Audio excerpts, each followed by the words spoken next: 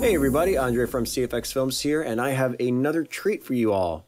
So, I've been on this sort of this streak of creating UI projects, and I just released my UI tutorial series, my modern sleek tutorial series, and I hope you guys have been enjoying that.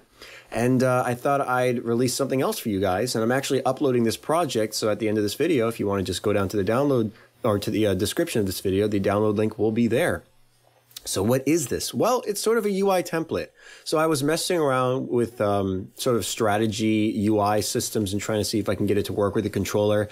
And it actually did work out pretty well. I actually want to show you if I play this, you can actually hover over each one of these buttons and they all have their own animations um, and highlight effects.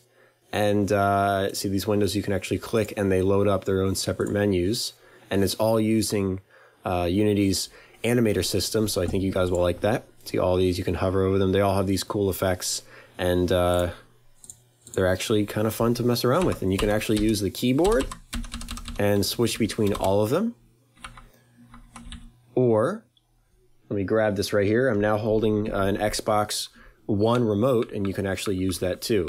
So I, I enjoy using uh, a remote. So this actually works really well. It's fluid, it's responsive, and uh, you can use a controller. So it has controller uh, functionality. And another fun part of it is actually the fact that since everything has been organized and aligned with the right anchors, you can actually change the scale factor and it actually scales correctly.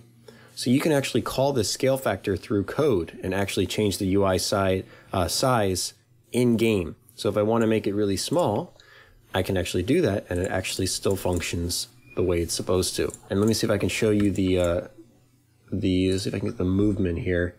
Uh, how do you enable the movement? Or, um, oh yeah, visualize. Okay, so visualizing the path, you can see how everything's actually moving. And it is cool as you shrink the window, it actually resizes everything properly. So it's very smooth and responsive. It actually works really well. And coolest part about this is you don't actually need any code for it. So there are no scripts.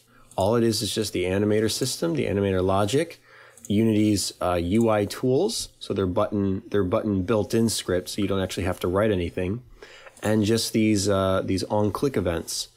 So super simple and straightforward. And if you guys want to take a look at this and, and use it in your own games, uh, feel free to do that. Like I said, the download link is in the description. So I just wanted to show you guys this and see what you thought about it. Just something something else for for some content here because I know you guys like seeing old projects. And even though this isn't really old, uh, this is actually pretty recent actually.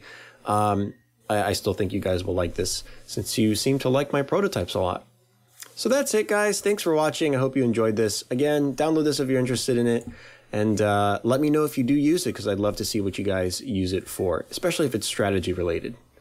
So thanks for watching, guys, and I will see you next time.